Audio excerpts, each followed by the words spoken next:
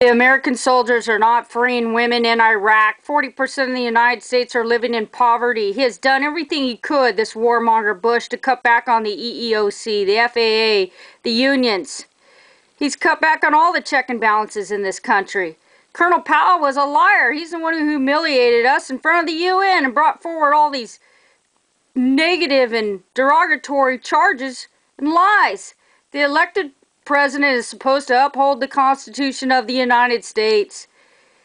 He has no respect for the Constitution. And now he wants us to wait and hear back about what the status is over there in Iraq when we all know it's a flawed from the beginning and it's all a bunch of lies. The American people are the Constitution. We speak, not the warmongers. President Bush Sr. was a liar and said that they were taking babies out of incubators and throwing them on the ground to get us in the first war.